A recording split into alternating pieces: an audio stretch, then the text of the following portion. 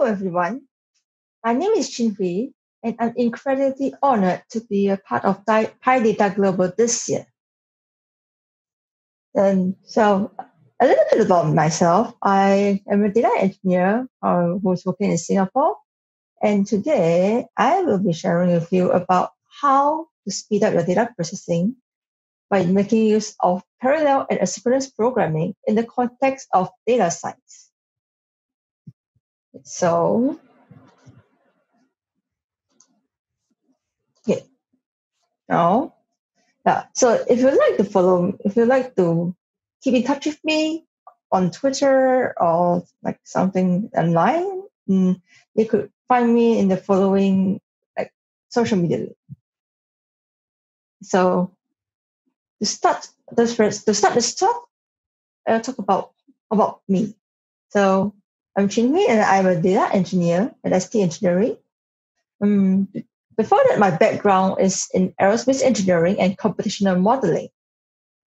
And since I'm a data engineer and I do a lot more data transformation and manipulation, as I am a frequent user of the Pandas library, and as a way of giving back to the community, I contribute to Pandas and if you can, and if you read some of the documentation, you might be able to see one of my contributions. And before the pandemic situation, I do volunteer as a mentor with Big Data X, whereby, uh, whereby we conduct data engineering workshops to equip data professionals with the skills to, uh, to improve their data engineering skill sets. And as a data engineer in a data analytics team, a typical data science workflow is as follows. But first, we extract raw data from the source, and after which we will need to process the raw data into a suitable form that the data scientists can use to train their models, which is the third step. After the model has been trained according to certain metrics and so on, that's where we evaluate the model in terms of the performance, and then when it's ready, we will look at how they will deploy the model. So extract, process, train, evaluate, and deploy. Seems simple, right? Well, not really, because there are bottlenecks in the data science projects. One of the bottlenecks that you could face would be probably the lack of data uh, if you have lack of data, you probably need to spend more time on your data collection. So a more common situation would be that the data that you collect would be probably of poor quality. It could be that you could have missing values or that maybe you might need a little bit more standardization of data. So that's where we need to go through data processing. So when we talk about data processing, uh, that's where I need to mention about the 80-20 data science dilemma. So the 80-20 data science dilemma states that about 80% of the time is actually spent in data processing and pretty much anything that is not conduct, not conducting analytics and training the models. Yeah, so yeah, 80 20 doesn't sound too bad, but sorry to burst your bubble, but in reality, it is actually closer to 90 10. So you actually end up spending a lot more time on data processing and not really so much time on getting insights from your data. So, I mean, okay, so as a data science team, it's expected that most of us use Python in our workflows.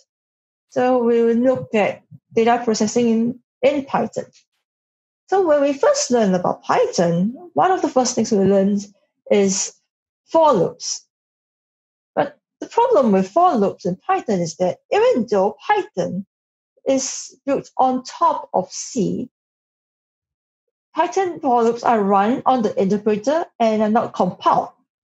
Hence, in terms of speed, it is significantly slow compared with running a for loop on C. So just look at how we write the for loop in Python. First, we initialize a list, and then for each iteration, we will need to append the value onto the list. So if I am if I am running the iteration 100 times, that means that I will have to load the append function 100 times and append the element to the list 100 times. So it can be a bit slow. So what other better way to do about it? Then that's why, so that is how in Python, we have the concept of list comprehensions. So the, the good thing about list comprehensions is that it is slightly faster than for loops. And the main advantage is that with the use of these comprehensions, there's no need to call the append function at each iteration. So if so in contrast with the for loops whereby for each iteration, I will have to call the append I have to call the append function as an object or that is a feature of the list, a list. So imagine that for every iteration from 1 to 100, I will need to load the append function as an object 100 times. But then for the list comprehensions, it's not it's already there and you don't need to load that function 100 times. Hence, it saves the time in terms of like, right, it saves the time in terms of like generating a list of values that you need without the repetitive process. Um, having list comprehensions is good and all for typical operations involving lists, but then for the type of data that we typically handle in data science projects, they can tend to be multidimensional with a lot of columns and so on. So hence the preference is to use pandas, which is optimized for in-memory analytics using the concept of data frames, which is capable of storing multiple columns in a more presentable manner. However, the problem with pandas is that like when dealing with large data sets that are more than one gigabyte or in the scale of tens of hundreds of gigabytes, it will tends to run into performance and out of memory issues. So, because Pandas is actually designed for in-memory analytics, so it is not really designed and intended for out-of-core use cases. So, the first thing that we will think about is, you know, since the data is too large to fit into a core, it's not suitable for pandas, then why not just use a Spark cluster? I mean, big data, right? Well, it's not so straightforward because when we talk about using a Spark cluster, it involves distributed computing. And when we talk about distributed computing, it will involve communication overhead that means you're trying you're trying to communicate between independent machines across a network. So six Spark cluster, for example, like typically the Spark cluster will have a three compute nodes. But then if we want to be able to run those three compute nodes and synchronize the workflow and distribute them accordingly, then each node in the Spark cluster will have to communicate with each other such that they will know like what's the state of each of the nodes and when then they move on to the next step. So it's a bit like no, when I send a WhatsApp message from Singapore and I'm trying to send it over to somebody in the US and in WhatsApp they do have like those multiple servers and stuff, but they need to communicate with each other. So that's the reason why, even when I send a WhatsApp message, and and then I oh, and the receiver is in the US, it would take some a bit of time for the recipient to be able to receive my message. So that is the communication overhead that I'm talking about. And it's not just about the communication overhead that might influence the decision to use a Spark cluster. It is also the concept of a small big data problem. So what is small big data? So okay, so this concept of small big data is inspired by the small big data manifesto that talks about data that looks large but it's not really big data. So if you would like to find out more about what are the ways to handle small big data, you could check out Itamar's talk on small big data at PyCon 2020, which you can find on YouTube. So to, so to put it in simple terms, small big data means that the data is too big to fit in memory. However, it is not large or diverse enough to justify the use of a Spark cluster. And so if we have this in between scenario whereby it doesn't really make sense to use Spark cluster, and then if I use pandas, I'm going to run out of run out of memory. Then what can I do? So there's this intermediate solution that we have is something like distributed processing, but not really. It's called parallel processing. So what is parallel processing? And so I am somebody who don't really doesn't really like to look at long definitions and read through a whole bunch of words. So let's illustrate with an um, example using food. Like, okay, so in Singapore, right, we have those Ya Kun like Kaya toast. So let's imagine that I work at a cafe which sells toast. Something like a typical Singaporean breakfast with coffee, soft white eggs, and kaya butter toast. So I'm not too concerned about my soft white eggs because I can just put them in the right temperature and then they set a timer, that's it. And it doesn't really take a lot of time. But we probably to pick, pick and pay a bit more attention to the coffee and the toast. So that's the focus of what I'm going to talk about. So task one is that I like to toast 100 slices of bread.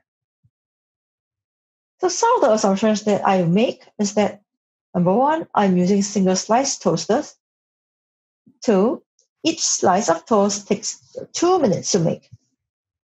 And three, I'm assuming that there's no overhead time, even though in reality, there will be some slight overhead time when I am going between toasts if we're, if, if we're talking about looking at sequential processing, I have 100 slices of bread. I feed them one by one to a processor, in this case, a toaster, or we can also call it a worker. And then after feeding my slices of bread one by one through a worker toaster, I get 100 slices of toast. And the total execution time to complete this process in a sequential manner is 200 minutes. Imagine, so in summary, 100 toast for 200 minutes using sequential processing. We have a better way of doing it. Same thing, we have 100 slices of toast but instead of feeding them one by one through our toaster, this time we split them into four batches of 25 toast each. After that, we feed them and feed them through four toasters. So for each batch of for each batch, we will feed them through a toaster. And then after which, we get 100 slices of toast. But instead of feeding them one by one, the task is executed using a pool of four toaster sub-processes, such that each toasting sub-process runs in parallel and independently from each other. So what this means is that in the case whereby I have a toaster that burns out or breaks down, I will still have three other toasters which are not affected by the faulty toaster. So that's what I mean by independently from each other. And after that, the output of each toasting process is consolidated and returned as an overall output, which may or may not be ordered, but but because toast toast and you don't really care so much about the order. So it doesn't really matter. So if you are looking at the sub process, you to you need to be sure that the order doesn't really matter. Um, and for the parallel processing process, the execution time is going to be 100 toasts, two minutes per toast, and divided across four toasters, which adds up to about 50 minutes. And that is equivalent to a speed up of four times. And now we've covered parallel processing. Let's talk about what's synchronous versus asynchronous execution. So, what do you mean by asynchronous? So let's illustrate it with another example using coffee. Now, in the cafe, so I like to brew coffee, and some of the assumptions that I make are that I can do other stuff while making coffee because I mean, I just leave it to drip and all, and I can do other stuff. Second assumption is that one coffee maker to make one cup of coffee, and three, each cup of coffee takes five minutes to make. But if we're looking at a synchronous mode of execution, what we'll be doing is that first we brew a cup of coffee on the coffee machine And then after the coffee is done, we toast two slices of bread after that. And then when our and then we get two toasts and one coffee as a coffee set, and the total execution time will be nine minutes. So if we imagine that we would like to have 100 sets, that's going to take 900 minutes. So that's a bit too much time so how can we improve the process? So if we look at asynchronous execution, what we can do is that while we're brewing the coffee, we can do other stuff. So why not make some toast? So what it will look like is that while I brew the coffee, I could actually make two slices of toast.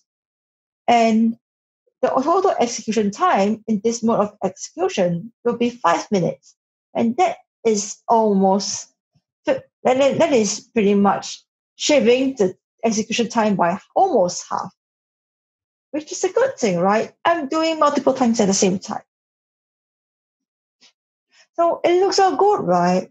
If I do, uh, if I execute in parallel, I will be able to get speed up if I can do things asynchronously while I'm waiting for something, I can do something else. So sounds like a good idea, right? So parallelism is awesome, right? So if you can infer from this slide, the question is, when is it a good idea to go for parallelism? Is it always a good idea? Or is it a good idea to simply just buy or rent a 256 core processor and then parallelize all your codes and then expecting a 256 times speed up. Is it really that good? Turns out not really, because there are some practical considerations that we need to think about when we are parallelizing our codes. The first and very important question that we need to consider is, is your code already optimized? Because sometimes you might need to rethink your approach, such as using list comprehensions or map functions instead of relying on for loops for array iterations. Another important thing to consider will be your problem architecture, because the nature of the problem limits how successful parallelization can be. Thus, if your problem consists of processes which depend on each other's outputs, which we call data dependency, or maybe your problem in, consists of intermediate results, whereby you have task dependency. And maybe not. So what do I mean by data dependency versus task dependency? So data dependency is whereby I am trying to make coffee toast and then I need coffee as an ingredient to be able to make my coffee toast. So in this case, in this case, there is data dependency because the output, that means the coffee from the previous process, is going to be my input for the next process, and I can't really parallelize that, right? When we talk about task dependency, it means that what, like, the, whether this particular process can run would depend on the state of the previous process. So let's say, whereby if I have a sink, right, and I want to wash my cups, but then I also need to wash other things. But the problem is that I need to finish washing my cups before I can wash other things. So that's what I mean by task dependency. That means that you need to have a completed state for a particular task before you can move on to the next task. So in that case, it's going to be a bit more complicated to parallelize your workflow. And on top of that, we also need to consider that there are overheads in parallelism, which can be summed up by Amdahl's law. States that there will always be parts of the work that cannot be parallelized. I, I need to emphasize this again. There will always be parts of the work that cannot be parallelized. And that is because when we want to initiate a parallelism workflow, the, it, there will always be the initialization process that cannot be parallelized. And there will also be the consolidation process that also cannot be parallelized. So you can't exactly parallelize everything. And on top of that, we also need to consider the extra time required for coding and debugging parallelized code. Since that will lead to increased complexity in terms of managing your code. And on top of these complications, we also need to consider that there will still be some level of system overhead, including communication overhead. Because for in the context of parallelism, you are communicating you may, even though you may be communicating within a compute, you're still you still need to communicate between between the cores in a compute. So there will still be some communication overhead, although not as severe as that of distributed computing. And then, so Amdahl's law can actually be illustrated by an equation but let's focus more on the implications of Amdahl's law.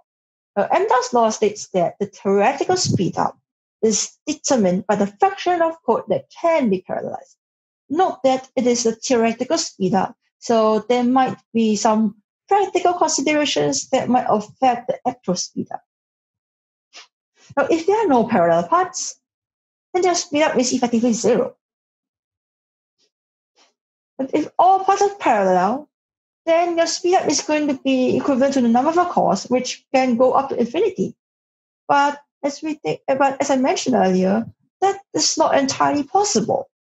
So we need to we need to understand that speed up is actually limited by a fraction of the work that is not parallelizable, and this will not improve even with infinite number of processes.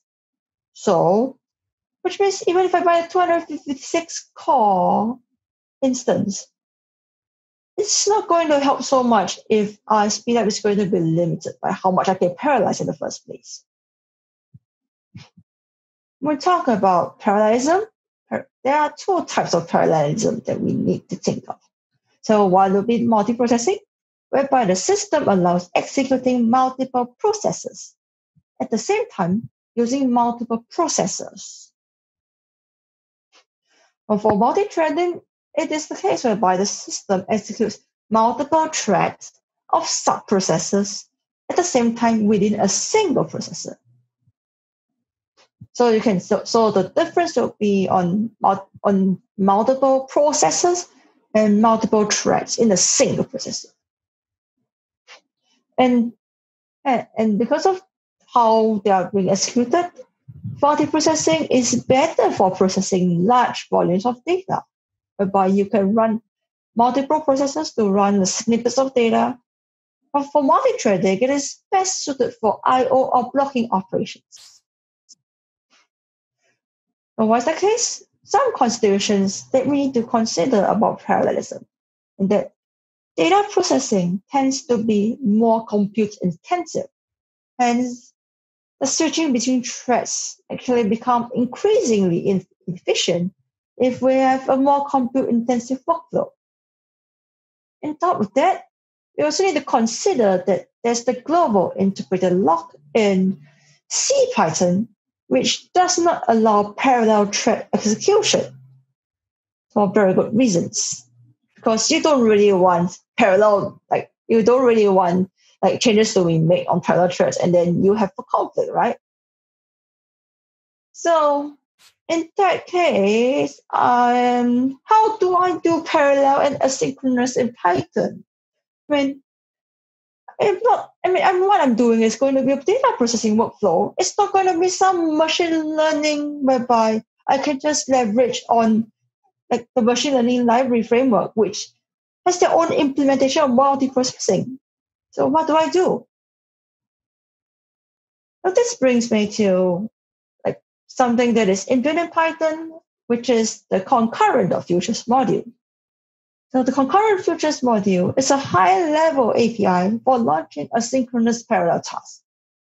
And is introduced in Python 3.2 as an abstraction layer over the multiprocessing module. And what, what this module offers is two modes of execution. The thread pool executor for asynchronous multi-threading and process pool executor for asynchronous multi-processing. So the difference between the two can actually be looked at at the Python library, whereby the process pool executor is affected by the chunk size, while thread pool executor is not affected by the chunk size. And if we look at process pool executor and thread pool executor and compare them, process pool executor uses the multiprocessing module, which sidesteps the GIL, while the thread pool executor is subject to the GIL and is not truly concurrent as the module name suggests and submit concurrent futures, takes an input like the function and the input arguments, and it returns a futures object that represents the execution of the function. So it's the execution. Well, for the map function, it takes its input, the, fun- the function, the list, and it returns an iterator that yields the results. So it's like an iterator. Okay, so let's look at some case studies. So in this case study, we are querying data from the data.gov.sg API, and the response is a JSON format. And we need to get the data. So first, I initialize the modules, and I initialize the API request task, and use the threading module to monitor the thread execution. After which, I, I initialize my job, and then I compare using list comprehensions. So for list comprehensions, it's going to take 16.3 minutes. But if I use a thread pool executor with 40 threads, I'm going to get a 20.9 times speed up of, of, of resulting in 46.83 seconds. And if we look at the image processing, which is more compute intensive, we have this use case whereby like the image in the data set are of different dimensions, so we need to standardize the dimensions to fit into the machine learning models. So similarly, we initialize the modules, initialize image resize, use the use OS.get PID to monitor the process execution, and then we, and in this case, we are processing 1,400 images. And then, and then we do a comparison. When I use map, it's about 29.29 seconds, and similarly for list comprehensions. But if we leverage on process pool executor with an 8 core instance, we get a 4.3 times speed up, resulting in 6.98 seconds for 1,400 images. So some key takeaways that I'd like you to take, take away from this talk is that not all processes to, should be parallelized because parallel processes come with overheads in the form of Amdahl's law, system overhead, including communication overhead. And most importantly, if the cost of rewriting your code for parallelization outweighs time savings from parallelizing your code, maybe you should consider other ways of optimizing your code instead. So um, thank you for watching my talk and you can reach out to me and this multiple social media platforms and please check out my slides at GitHub if you'd like a copy of it. Thank you.